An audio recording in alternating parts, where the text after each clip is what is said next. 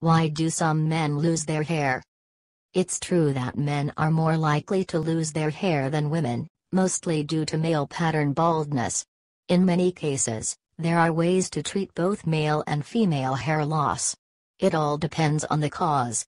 Any kind of physical trauma, surgery, a car accident, or a severe illness, even the flu, can cause temporary hair loss. This can trigger a type of hair loss called telogen effluvium.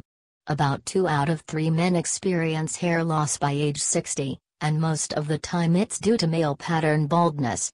This type of hair loss, caused by a combo of genes and male sex hormones, usually follows a classic pattern in which the hair recedes at the temples, leaving an M-shaped hairline.